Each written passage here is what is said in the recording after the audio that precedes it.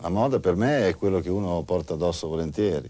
La moda per me che la faccio invece è un lavoro e quindi viene, viene, viene vissuta così, con grande impegno, con grande costanza, così come tutti i lavori che vengono fatti eh, nel mondo.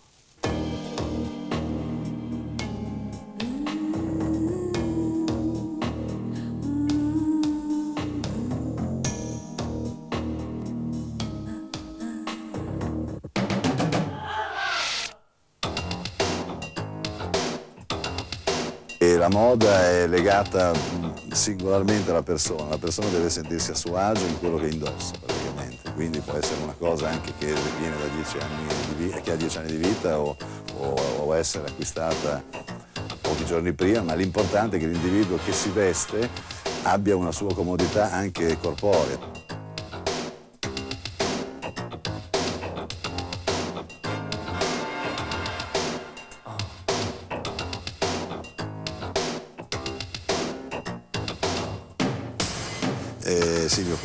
Grafica e a quei tempi, circa vent'anni fa, eh, mi venne in mente di cominciare a stampare le t-shirt che erano prodotti usati semplicemente per, eh, come sotto camicia e cominciare a stamparli e renderli più, più, grafici appunto e per fare questo usare una tecnica che si chiama serigrafia che è normalmente adottata appunto per stampare la carta o per riprodurre eh, lavori artistici o perlomeno il mio interesse è sempre stato eh, vicino alla costruzione dei materiali, alla ricerca sui materiali dei tessuti. Moda italiana significa comunque una, la, forse la, la, ricerca più approfondita che è stata fatta in questo campo, cioè, credo che l'Italia abbia negli ultimi anni offerto così un, una, un, un, alto numero di, di, professionisti che si sono applicati in questo campo e che hanno dato, ognuno di loro, delle, dei grossi risultati, sia per quello che riguarda l'uomo che per quello che riguarda la donna.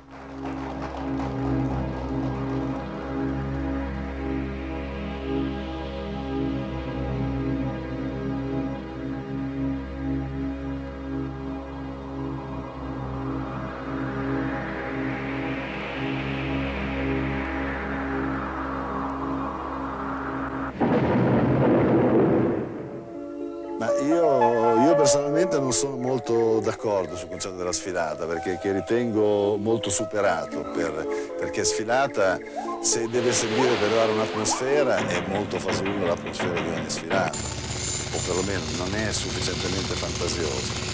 Se deve servire invece per fare vedere il prodotto in senso stretto credo che sia assolutamente insufficiente perché la visione di queste cose avviene sempre molto parzialmente in quanto gli ambienti che ospitano le sfilate non sono adatti per vedere un prodotto. Quindi io personalmente non ne faccio uso, ho fatto qualche eccezione eh, ma ripeto non, eh, non sono molto d'accordo. Eh, il giovane inconsciamente è portato ad apprezzare quel, molto più della persona adulta, è portato ad apprezzare eh, i contenuti veri. Noi crediamo che il giovane sia, sia attratto così dalle cose eh, spettacolari o, o, immediate, in realtà secondo me il giovane viene molto colpito da, da, da aspetti funzionali.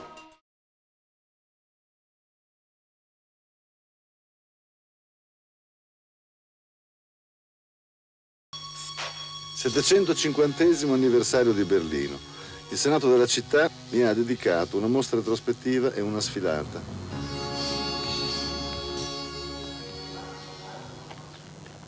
Questo invito sottolinea la ricerca che ho portato avanti per anni, studiando materiali nuovi, tessuti che prima non c'erano, stoffe che danno sensazioni inedite, colorazioni insolite.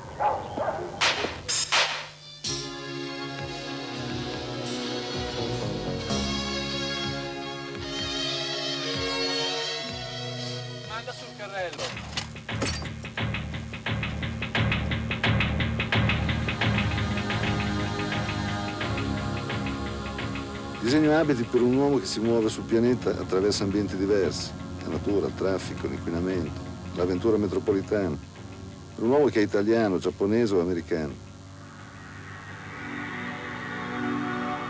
Ho sempre pensato che i miei abiti debbano rispondere a bisogni reali.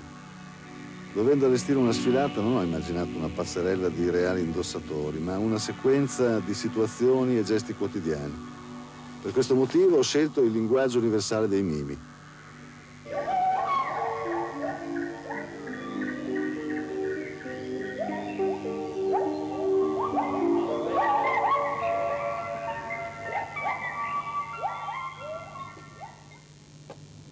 Ciò che serve sono innovazioni, non solo formali ed estetiche, ma soprattutto di contenuto. Perciò ho studiato le deformazioni e le impronte degli abiti da lavoro, perché esse indicano quali sono i volumi che rendono confortevoli ciò che si indossa. La mia giacca non mi piace solo esteticamente, ma perché ha molte funzioni, molti ripostigli.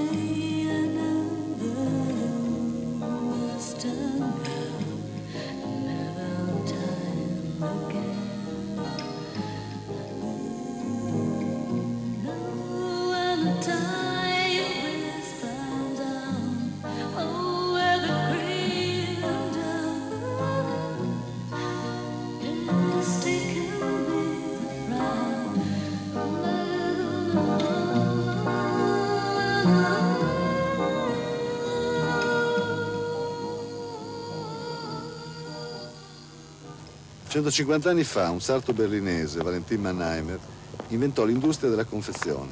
Cominciò a trasformare prototipi in multipli. Massimo Rossi ist sozusagen die moderne Interpretation der Konfektion, Sportswear. Per questa ricorrenza, qui nel palazzo del Reichstag, è stata allestita una mostra di una parte dei capi che ho ideato negli ultimi anni. Mi lusinga il fatto che in Germania abbiano scelto il mio tipo di ricerca, quella di un italiano, a rappresentare lo sviluppo raggiunto nel settore.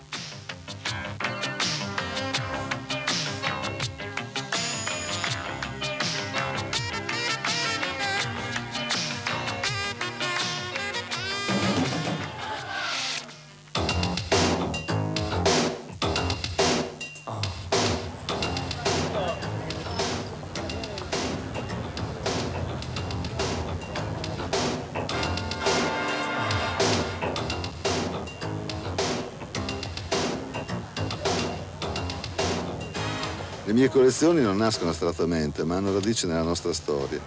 Anche da qui, dal cuore dell'Europa, traggo idee e suggerimenti. I miei capi conservano tracce di antiche funzioni. Studio le abitudini del passato e ripensandole disegno abiti per il futuro.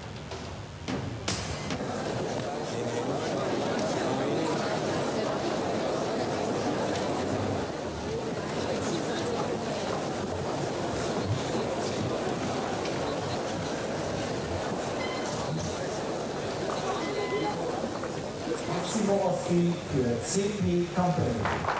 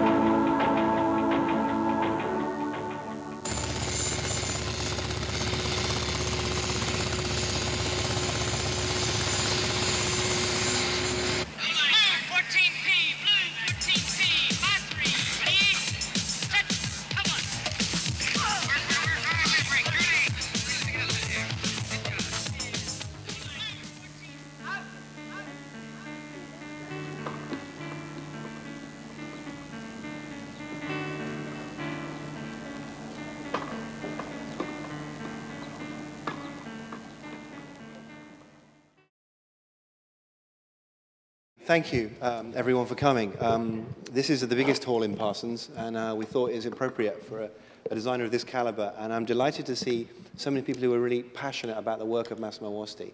Uh, we have here um, Daniela Osti, um, uh, um, Massimo's widow, who worked with him on throughout much of his career.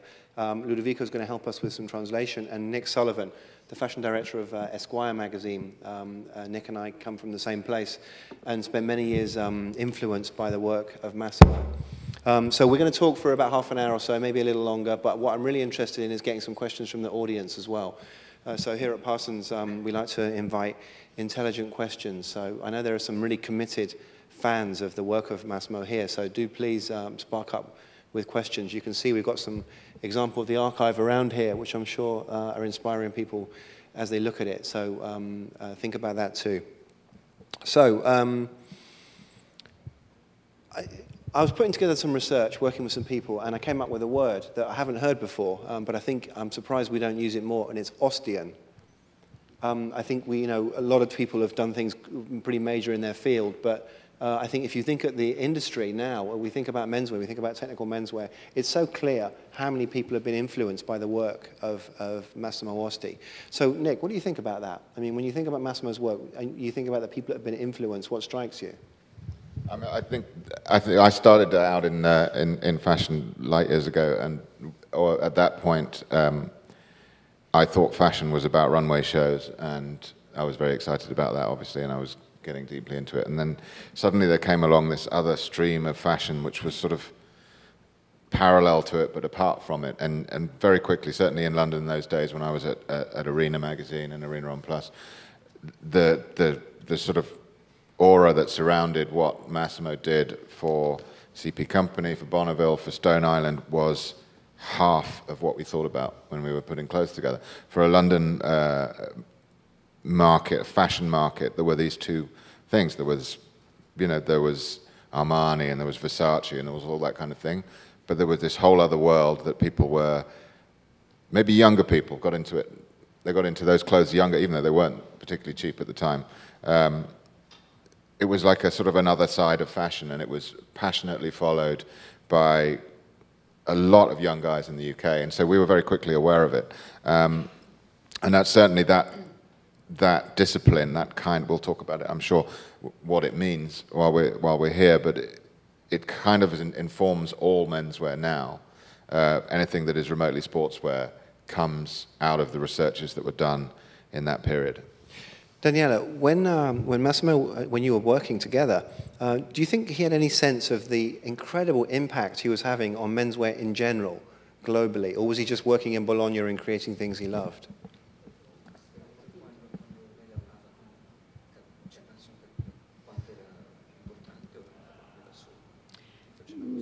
No, I don't think he really knew about uh, this big influence at the beginning.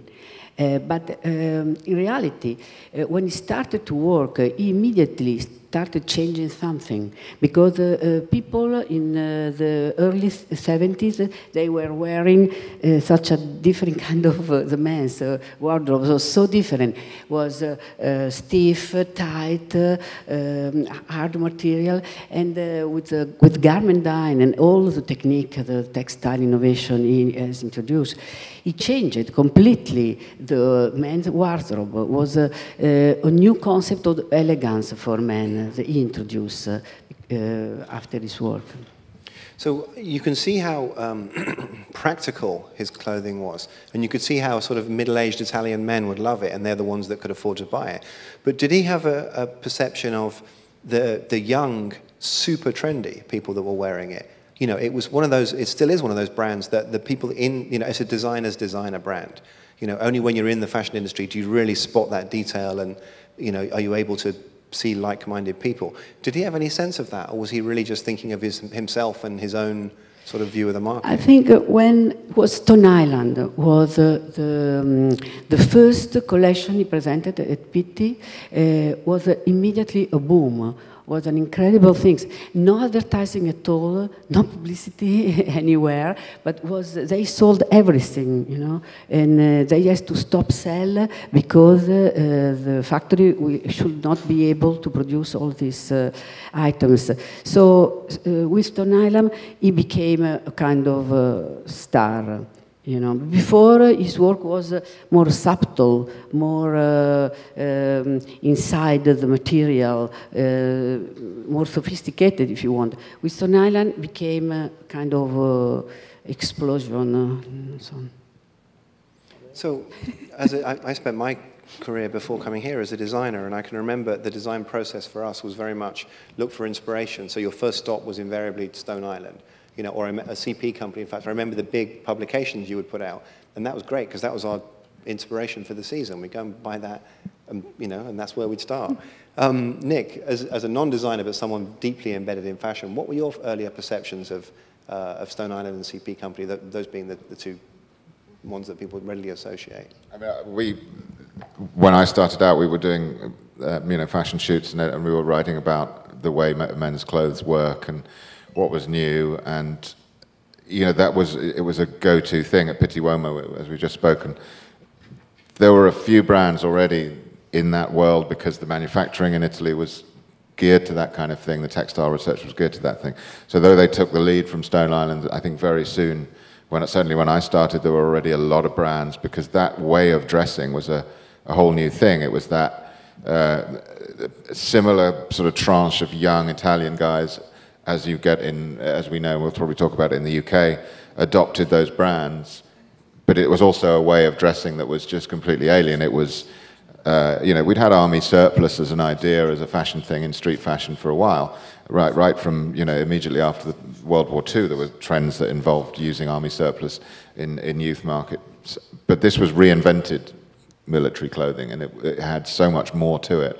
And it was a very quickly a, a kind of a, I think if you were 18, 20 out on the town, it was, uh, it was a status symbol to have a Stone Island jacket uh, way back then, um, and still is. So what was your first exposure to it then? Did you buy a piece or did you remember seeing something and, and wondering about it? Um, we, I'd already been working with those with that collection for a while and from seasons, but but I think I went to uh, I discovered there was a sample sale and I went a bit mental and, and bought bought three anoraks and a, and, a, and I think it was the there's a Jean-Paul Sartre inspired uh, Montgomery coat that's um, in the book, in fact, and I have had one of those um, somewhere, maybe in England. It still exists. I'm not sure where I put it, but but uh, it was very much a label that you wanted to you wanted to wear, and you could put it with anything. You didn't have to have the whole collection. It was, but it, for me, it was always about the jacket or the coat. I mean, that's where I guess for menswear most most menswear starts with this or an overcoat or something like that.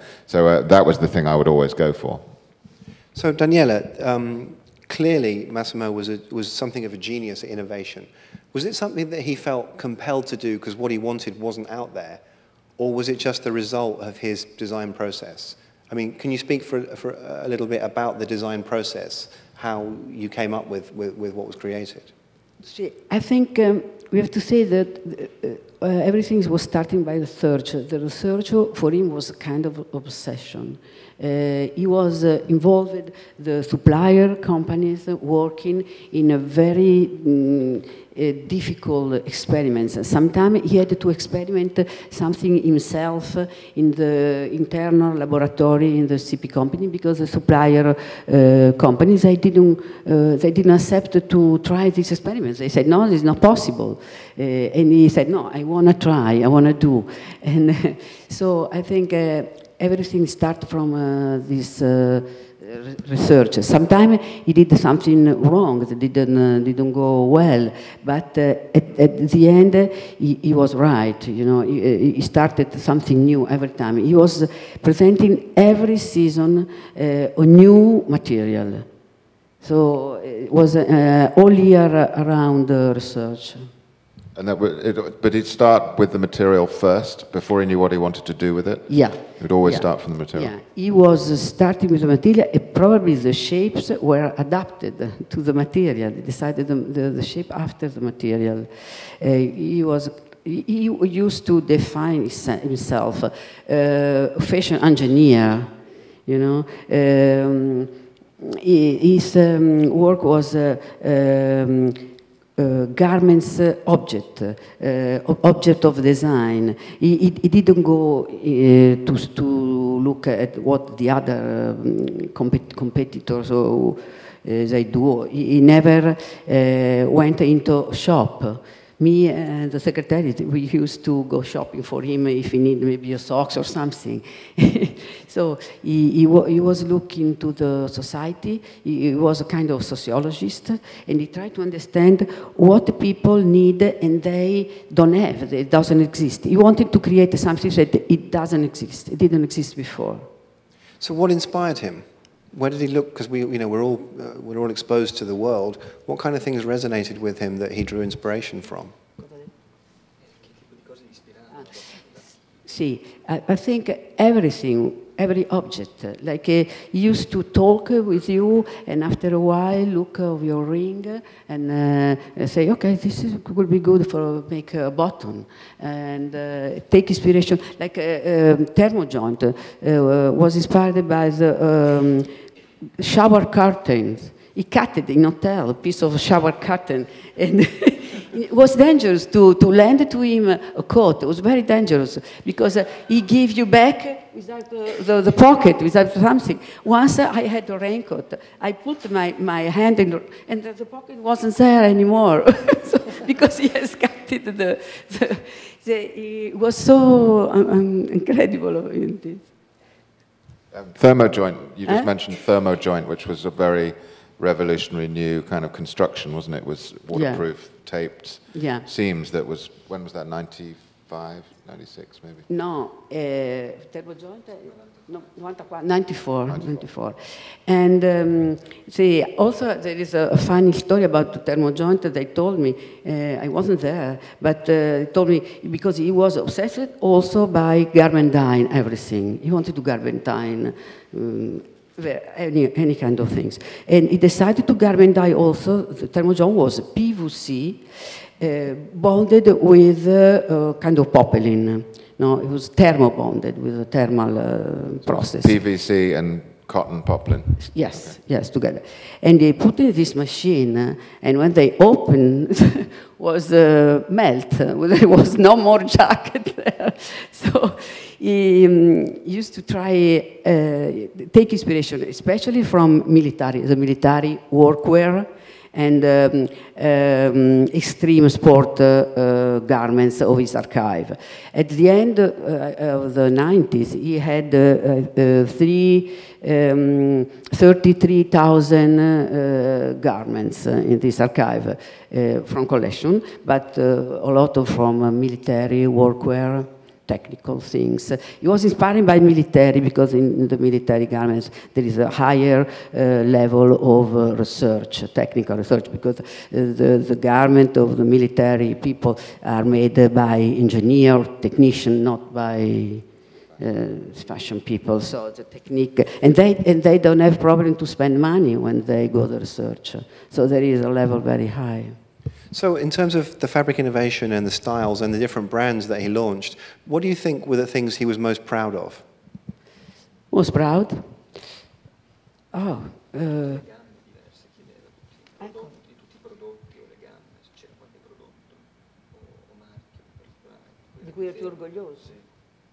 Mm, no, I think uh, he was proud of, um, I don't know, no.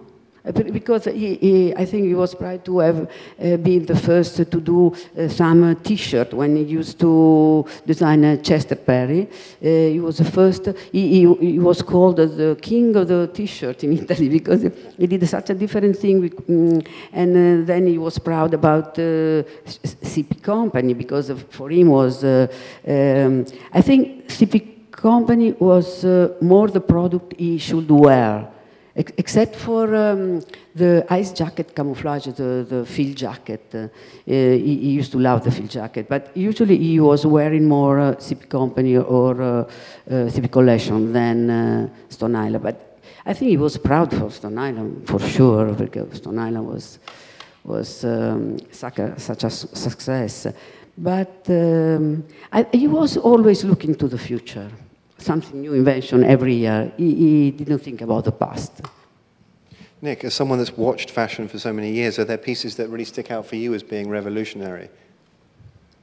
Um, yeah, it would be impossible to, to sort of name them because almost it was almost as if you you would never find anything that wasn't in some way revolutionary um, in a collection. So literally, you would go through, and, and I'm you know running around Milan and going to Pitti, and you go on appointments and you try and spend 12 minutes on one stand and 15 minutes on another. Invariably, unless you got managed to get on without anyone noticing you, you'd be on that stand for an hour and a half because all of the clothes it wasn't that they required explaining, but you needed to have them explained. You needed, you wanted to know every last detail because every time you lifted a pocket flap, you'd find something that you'd never seen before.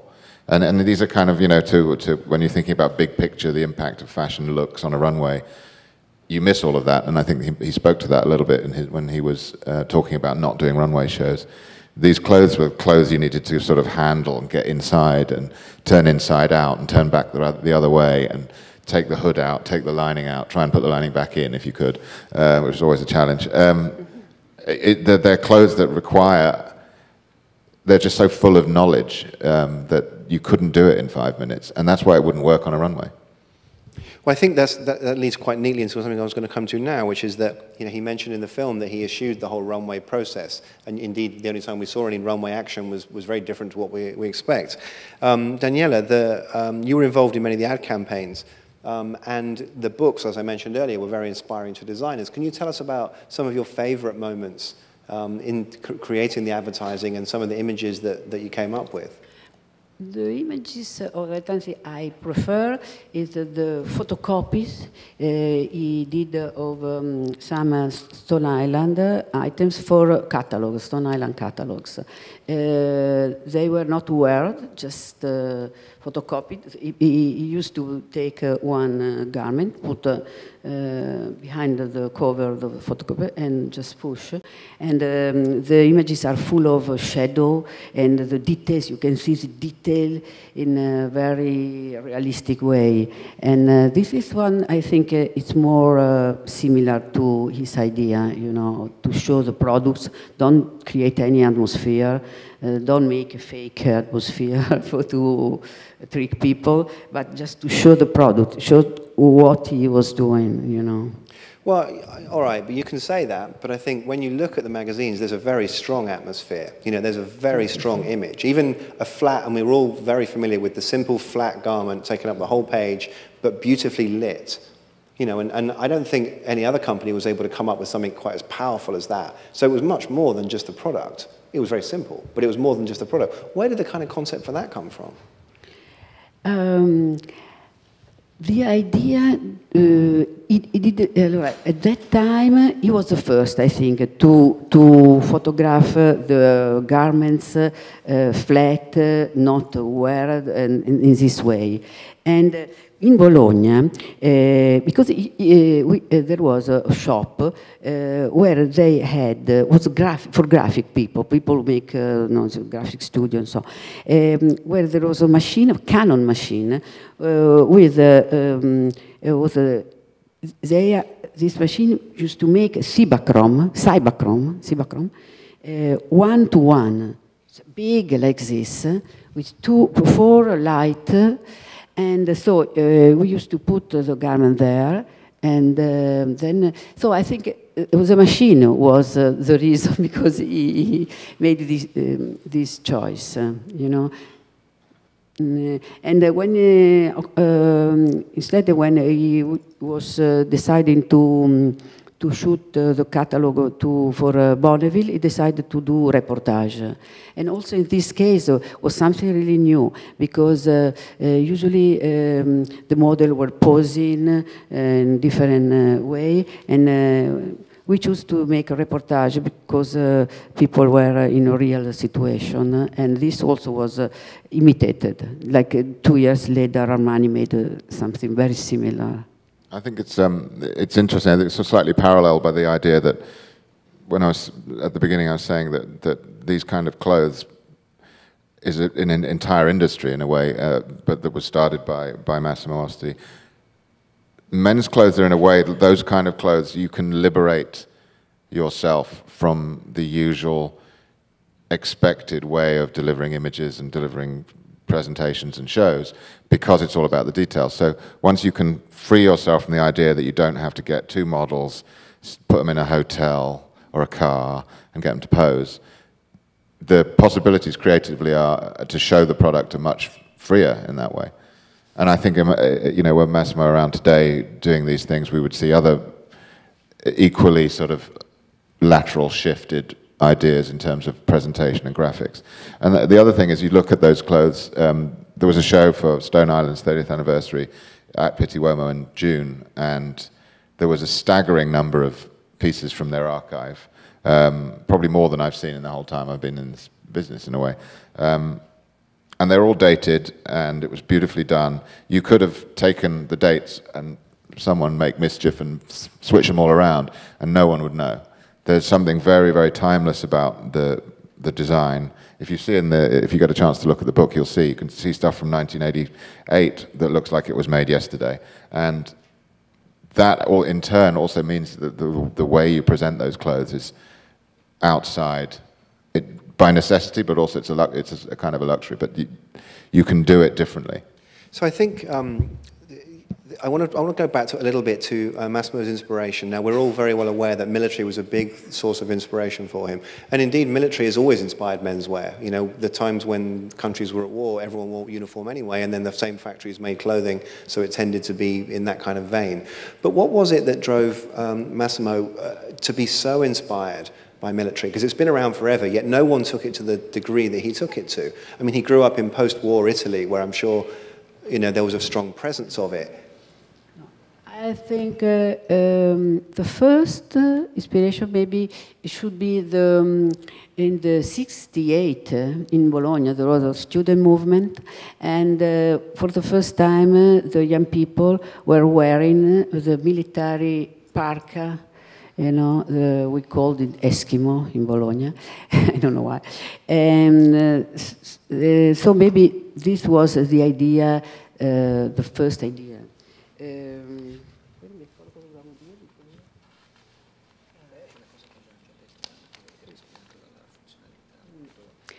Yeah.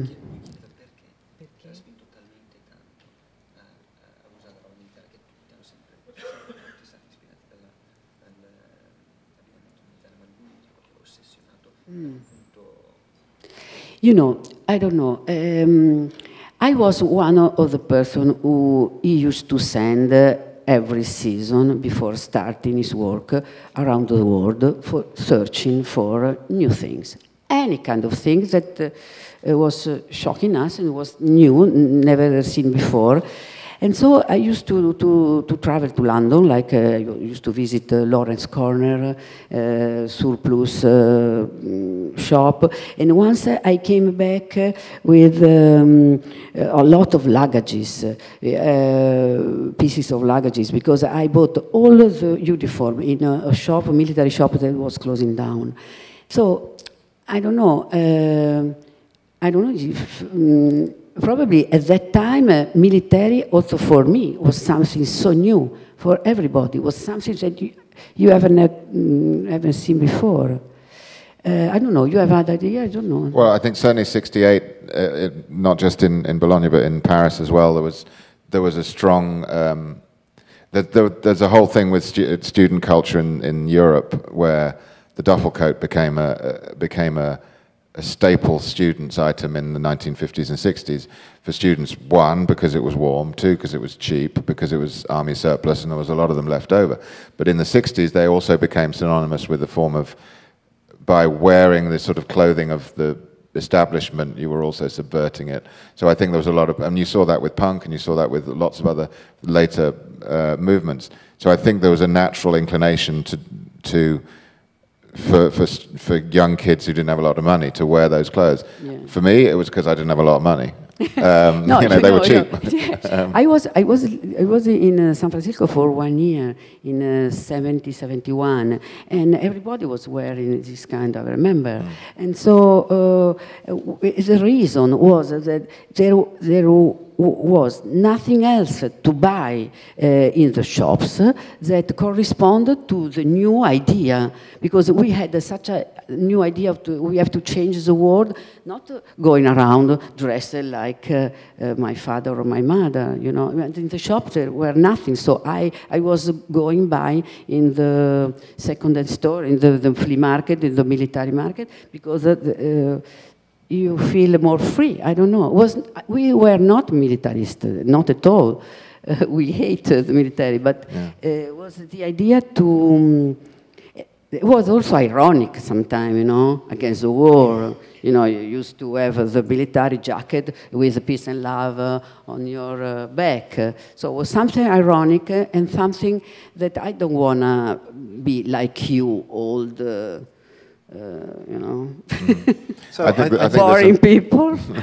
there's another component to it as well. I think when I was very lucky enough to to, uh, to visit Massimo in Bologna, God, a long time ago now, it's 96, 97, when I was at Arena Magazine, partly because we were doing a shoot uh, for Arena Homme Plus, which is uh, a biannual magazine. I don't know if anyone sees it here, but um, it, the theme was uh, heroes, and so one section of it was a vast still life shoot, very much like, in fact, like the Stone Island kind of shoots we've been talking about, where we needed objects that belonged to people, real objects, didn't necessarily things they were wearing, but we borrowed uh, we borrowed the skis of uh, early 20th century explorer who died at the South Pole from the Royal Geographical Society. We borrowed a gun from James Bond archive, and we borrowed some uniforms from Massimo Osti.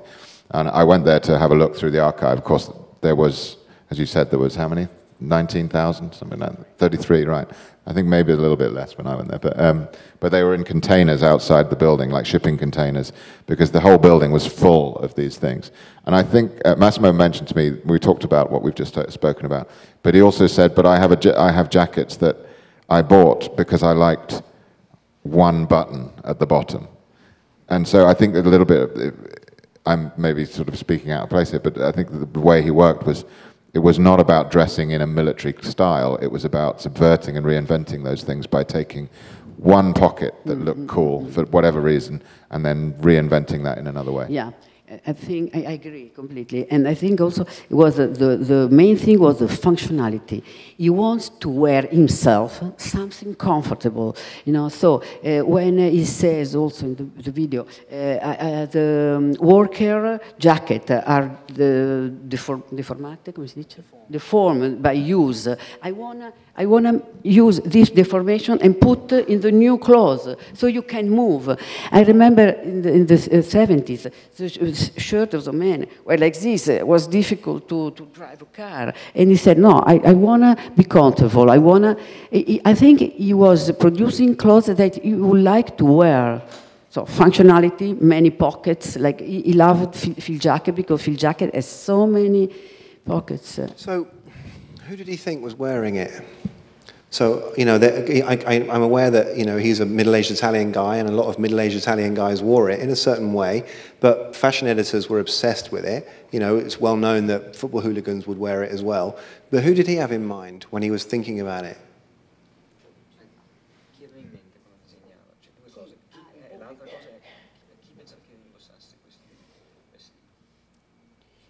I think he never uh, had um, market inquiry done. He never thought about uh, target, about uh, he was thinking about uh, maybe people need something they don't have, you know. So he was inventing something that people mm, maybe need also if they didn't knew. So like CP company uh, was uh, sold uh, between uh, people between uh, 25 to 7. My, my father is still wearing. He's 95. so um, Stone Island was for younger because more, uh, you know, aggressive. But I don't think he was focusing on who will buy. He was focusing on those people I see in the street walking in such a terrible, dressed in such a terrible way, what they maybe need to feel better. This, uh, I think. so he's being entirely altruistic. So we, we, are going to ask for questions in a moment, so do please um, think about what you want to ask. Um, I was at a runway show the other day, and I observed the fashion editor wearing a jacket, and I, I thought I recognized it, but I thought it can't be. And I asked, and it was the Mille Miglia jacket. Um, and it's just as fresh and, and cool looking today as it's ever been. He must have been thrilled by the, the ubiquity of some of the things that he created and the fact that they just never went away. I mean, it's annoying in some ways because you haven't got to buy another one. But they, they became classics, and that word gets overused all the time. But, you know, did that resonate with him? Because I'm kind of intrigued by was he operating in a little factory in Bologna and never really seeing what was going on, or was he influenced by it?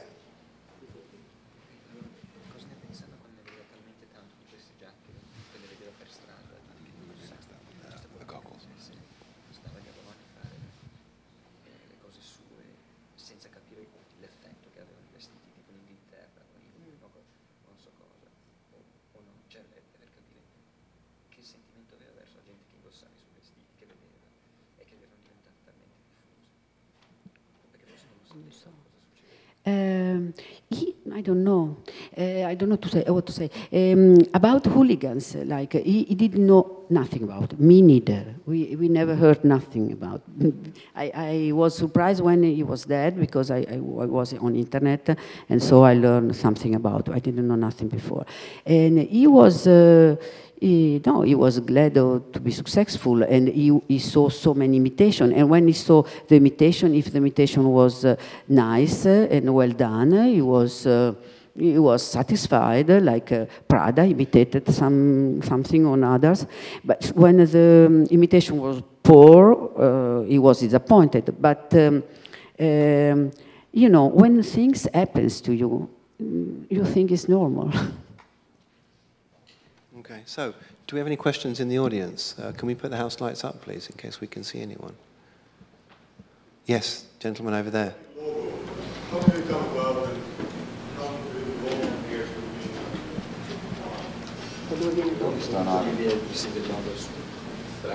Um, this is another uh, military inspiration because the. Um, we're talk, sorry, we're talking about the patch on Stone Island, which I'm sure you're all well aware of.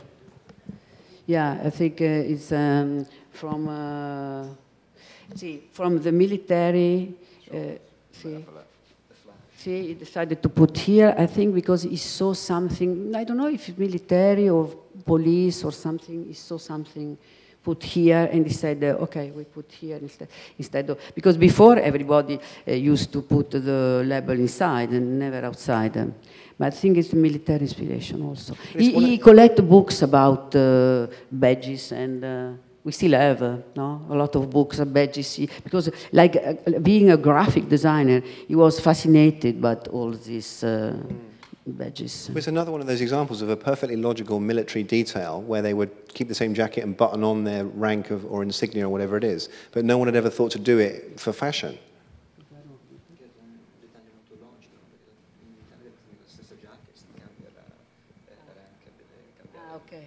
Right. Doesn't. So, is there another question from the audience? Yes, in the front. um, Massimo was primarily a menswear designer, but later on in his career, he actually ventured into women's wear. What drove him to do that, and what challenges did he encounter crossing over? Because usually designers tend to go the other way.